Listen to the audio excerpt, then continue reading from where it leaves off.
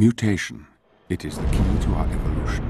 It has enabled us to evolve from a single-celled organism into the dominant species on the planet. This process is slow, normally taking thousands and thousands of years. But every few hundred millennia, evolution leaps forward.